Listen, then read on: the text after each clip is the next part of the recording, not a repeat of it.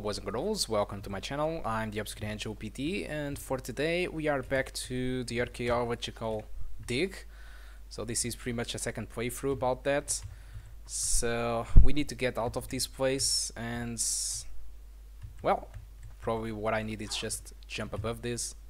Hmm, not really. I was thinking that we could use the box to, I mean pull the box or something but I don't think this is happening. Okay, weird. What the hell is wrong with this box? I can't control Lara decently above of it. Okay. Weird thing about this box is that I can't pull it or make anything with it, which is very strange.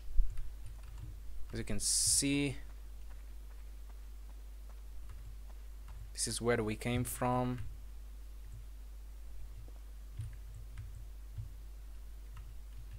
How the hell? I was supposed to grab to this, so but for that I need the box. Why can't I pull the box? Is this a bug?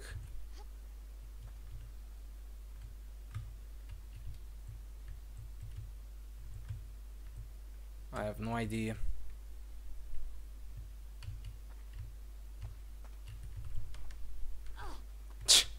what the hell is happening? Lara can't grab to this? Nope, she can't. Not even jump or anything. This is weird.